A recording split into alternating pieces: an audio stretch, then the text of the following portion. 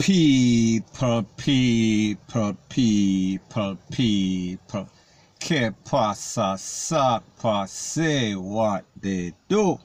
Now, people, this is an update about an incident that took place in Clarendon, and it pertains to a constable. I am speaking about Kirkland Plummer, and it also concerns a next person, a 27 year old man and his name is Wayne Slash and he is allegedly the man that got into some sort of confrontation with the Popo or the man that bust up the can in at the party. So anyways people, this is the bottom line. Based on the information that is out there, it is said that this constable was on his way home from work.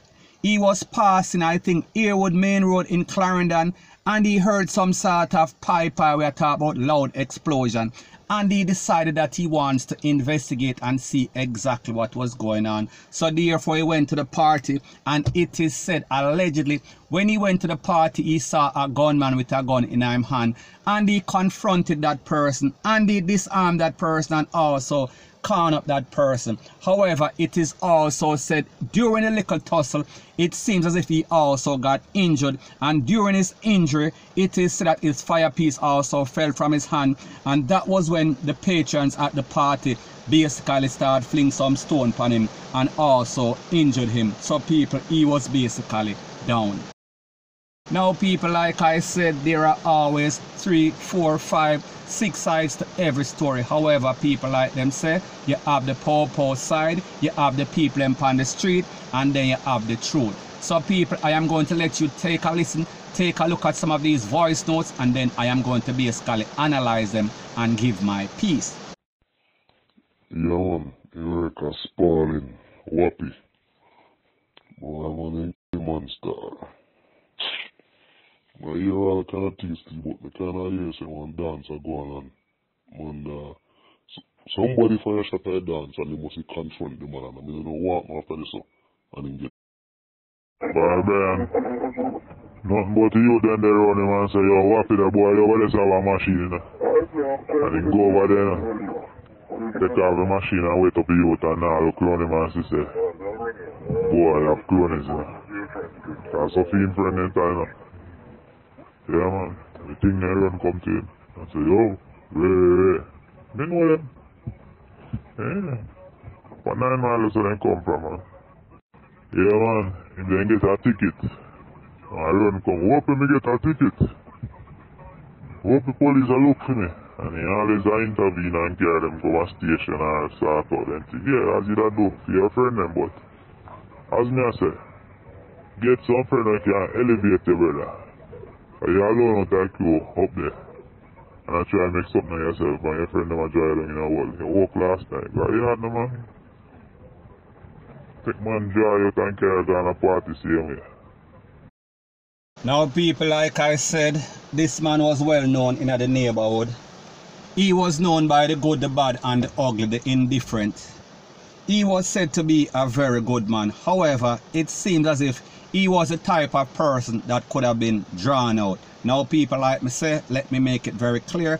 This is my disclaimer. There are always at least two sides to every story and then you have the truth. Because based on the information from the Popo, it is said that he was coming from work when he heard the Pi Pi sound him and he went to investigate. Now based on some of these voice notes and people, whenever I get these voice notes, they are from credible persons including the poor, including soldier, including reputable people in the society. However, it is not always 100% proof. However, people like them say, wherever there is smoke, there is also fire. Now, people, based on the information, it is that this person that the Popo went into a tussle with or got into a tussle with, he was basically on the Popo radar. So therefore, he was known as a man that was wanted. He was known as a crime producer. I am speaking about the 27 year old man and his name is Wayne Slash. Now based upon the information people like me said before, the Popo went to the party, he saw the man with the tool and then basically disarmed the man according to the Popo information, according to some of the words on the street, according to some of the patrons that was there. However, people, like I said in the voice notes, or like the voice notes reveal, he was the type of person that is always looking out for people. And some of those persons that he was looking out for, they are basically, they have some sort of shaky character. That means that they might be involved in some sort of thing. And people, me not say them are criminal. I am just saying that they are not clean like we are talking about Jesus Popo record. Now people, what is very disturbing about the whole thing is that based on the information, it is said that after he got in the tussle with the man and people like them say, the man also got conned up and he was taken to the place of recovery. He was taken to the place of we are talking about at the hospital and people. I don't know if he make it. Apparently, he did not make it. However, based on the popo, it is said that he is a violence producer in the era and he might be wanted. So people, I don't know if that is what exactly happened. If him and this wanted man basically kick off or there was some sort of issue between the two before people may not know. Like me say this is the second update. However it is still preliminary. We need to get all the facts point blank and period. However at the end of the day it is very sad to see a popo lose him life and people like we say he was coming from work according to the popo and he heard some sort of con. Now people, I know that it is protocol that if you hear any sort of con, the first thing that you're supposed to do is basically call for backup. So people, was he attending the party? People may not know. That is yet to be determined point blank and period. However, the point that I am trying to make is this. He went, I don't know if he decided to play a hero because obviously he was not following the protocol of the JCF. May I talk about the Jamaica Constabulary Force to call for backup. And when he went, he was confronted by a man. And when he confronted the man and disarmed the man, it was said that the patrons, it seems as if they were mad that he basically stopped the party. It seems as if they were saying that him basically fling a monkey wrench in them enjoyment. So therefore they were going to retaliate.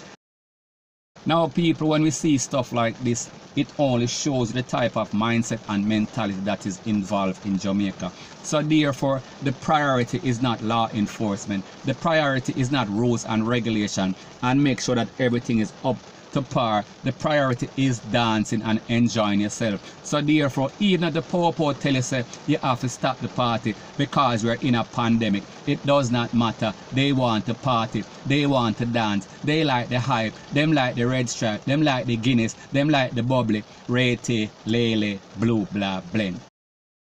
Some people, the moral of the story is that this Popo was doing his job allegedly and he was met with some sort of resistance because he was trying to disarm this man.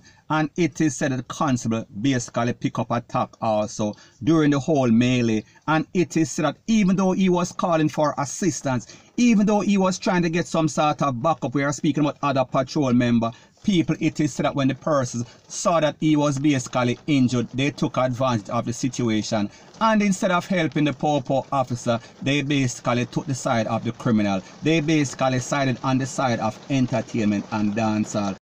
So people, based on this information, it is said that this man could have lost his life. I am speaking about the popo. From the gunshot wound that he got or even from the stones that were thrown by the patrons in the party. And it is said that when the patrol team arrived he was basically pronounced we are talking about gone and then the next one was taken to the place of recovery. However, I don't think that that man made it either. It is also said that the both weapons that were used were talked about by the gunman and also the popo, they were on the scene. So people, luckily, nobody took that weapon away. Luckily, nobody basically exit the scene with the weapon. So hopefully they can do some sort of ballistics or some sort of fingerprint and see who is involved and why. So people like to see this is very sad news. However, it only shows you the Jamaican mentality. It only shows you the average Jamaican the way that they think. They basically think we're speaking about ASS backwards, point blank and period.